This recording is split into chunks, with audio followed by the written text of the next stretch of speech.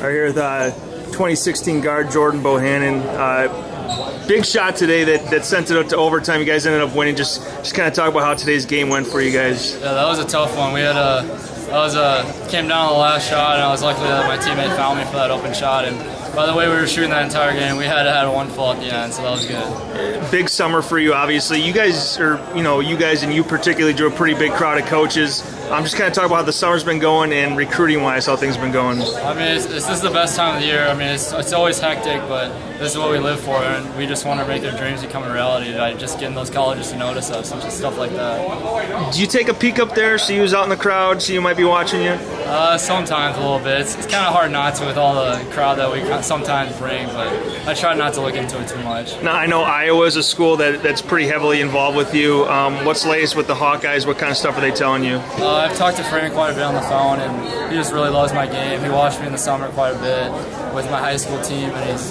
been in and out now through this last summer, or this through these last couple of weeks. So I mean, they, have always been, or this this past summer, they've been really heavily recruiting me. So two brothers that played at Wisconsin. They're looking for a point guard. Um, what's the latest with the Badgers right now?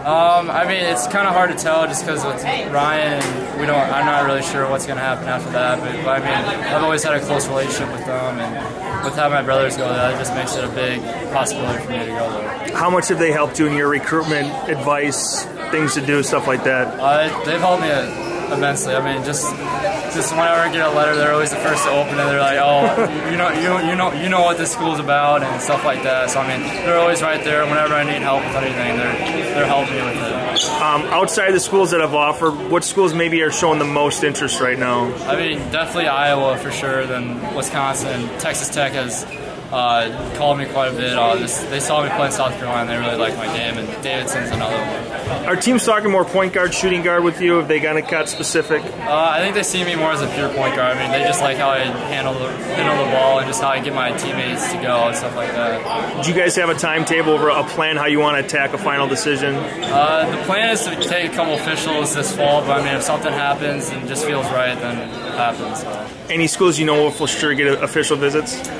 Uh, I don't know yet. I don't want to get too ahead of myself. I just want to take care of this last couple of weeks of summer and just really open up my options for this fall. So. Okay, great. Thanks so much, Jordan.